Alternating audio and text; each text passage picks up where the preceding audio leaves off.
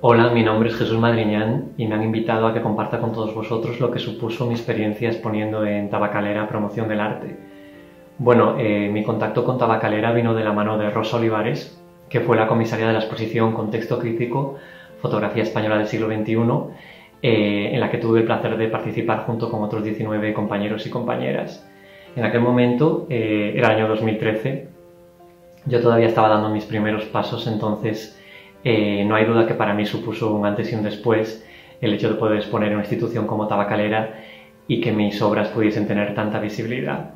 Así que bueno, muy agradecido, una experiencia genial en un espacio que invita a perderse y que invita incluso a, buscar cobijo.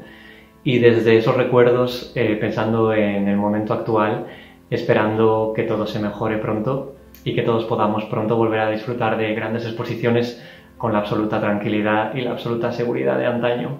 Un abrazo para todos y muchas gracias.